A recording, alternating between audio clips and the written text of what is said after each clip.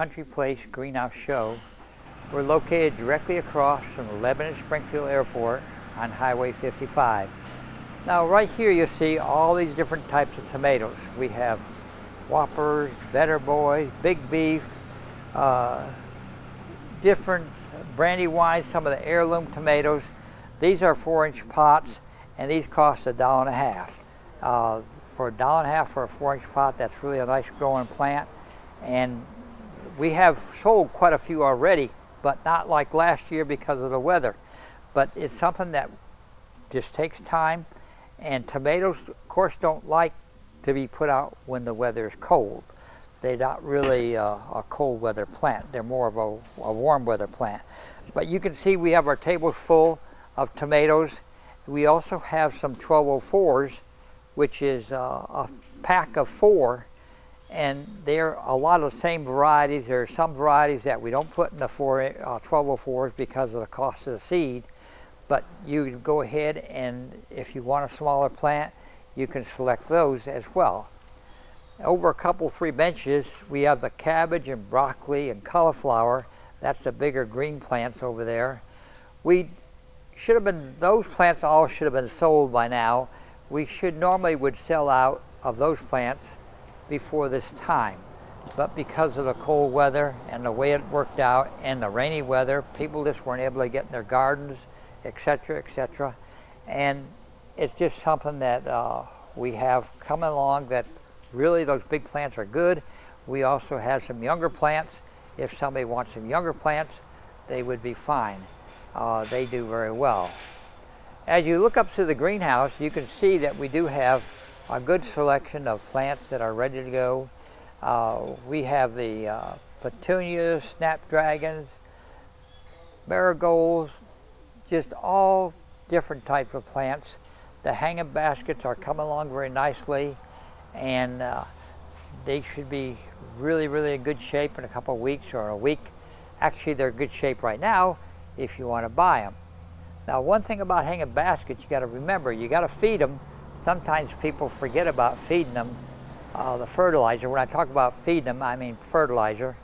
And you have to feed a, hang a basket at least one time a week Otherwise, it will become long and leggy and stringy and it won't look as good. And then plus two, you have to trim it. I've had shows before where I showed people how to trim, and we'll get more into that later on as the time goes on, because trimming is very important. Uh, most baskets do require a certain amount of trimming. Now, a lot of people ask about, well, how do you water hang a basket? Well, watering is a very subjective type of game you play. Uh, you may have a lot of sun, you may have just a moderate amount of sun, you may not have any sun at all. So those are the things you have to consider when you're watering. You have to kind of feel the weight of the basket and kind of go from there. You don't want to go ahead like on a hot summer day. If you know it's going to be really hot, especially like a New Guinea impatient or a bounce impatient basket, you'd probably definitely want to water that in the morning rather than wait till night when it's all wilted down. Even though they'll come back, that's why they're called bounce. But they, they would do better if you were to take time and water them in the morning. So those are some just some basic tips that you have in relationship to growing uh, the hanging baskets. And we have two different sizes. We have the 12 inch basket and then we have the 10 inch basket.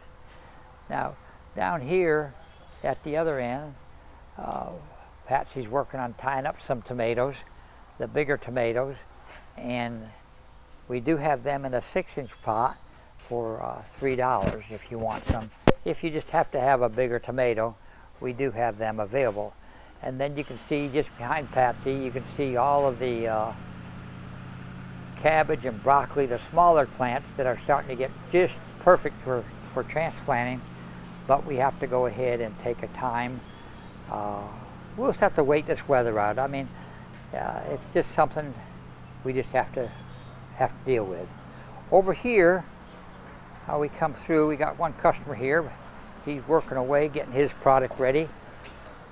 We have geraniums that are real nice. These are 10 to 9 inch geraniums. And then we have some dahlias and different plants. We have some begonias. And then we have the uh, bounce uh, impatiens behind them. uh, bounce, and then uh, sun loving impatiens. So those are some of the things that you could, uh, depend upon which one you like, you can go ahead.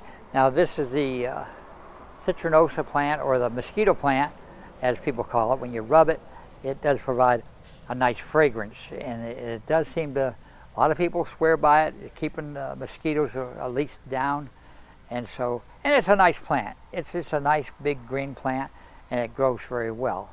So I mean, there's two aspects of it. Uh, one, keeping the mosquitoes down, and number two, it's a nice plant to go along with it. Now we have some smaller geraniums for people. Uh, this is called the seed geranium, and we do have that. And that's a little lower in price, uh, but we do have quite a few varieties of that and the seed geranium. The wave petunias, we have that in a multiple of colors. They're in a four inch pot and they're quite prolific and growing. Now one thing I do want to mention about your baskets that you see up on top and all, what we use is we use like wave petunias and we use the uh, what they call vining or the uh, type of petunia that will vine rather than the type of petunia that grows upright. Uh, sometimes the baskets you see that are sold, they're sold relatively cheap. They're just regular petunias put in there and uh, they don't tell you what, what you're really getting, whether you're getting a wave or you're getting a petunia that is uh, more of a vining type petunia and that's kind of misleading in some respects but that's all we use in our baskets is vining type or the uh, wave type petunias. Now we have uh, verbenas too, and then we have uh, the calibrachoas up here, and different plants that you can use in your landscape, uh, the bacopa, and then we have the lantana. The lantana is a great plant. It attracts hummingbirds. Uh, I think for the season you can use the hummingbirds. They do very well on the next table over. But uh, these are plants that can be added as a along with your with your landscape material or with your general planting. Behind me over here, we have some snapdragons that are coming along really well. And we have regular petunias. Now the regular petunias, like I said, that's great for just putting in your own flower pots or if you want to put them in beds too, as well as the waves. And they do very well. And then we have the marigolds and uh, Elysium. Alyssum is a great plant it does really well once you get it outside the greenhouse. It's a little bit of a problem sometimes if we carry, carry it too long in a greenhouse. But we do have Alyssum, and then behind that we have portulaca and some salvia, and there's some coleuses at the far end of the table. Now begonias, over in a couple, three tables over, those are always a good plant. And the dark leaf begonia is the one that will grow in the full sun. We do have some green leaf that will, it likes more shade than it will. I mean, it can grow in the full sun, but the leaves turn a little red. We also have impatiens, different kinds of impatiens. We have double impatiens and regular impatiens. So we have a good selection and we're ready to go whenever you are. I'd like to thank you for listening to the Country Place Greenhouse Show today. I'm Bernie with Country Place. We're located directly across from the Lebanon Springfield Airport on Highway 55 stop in and see us.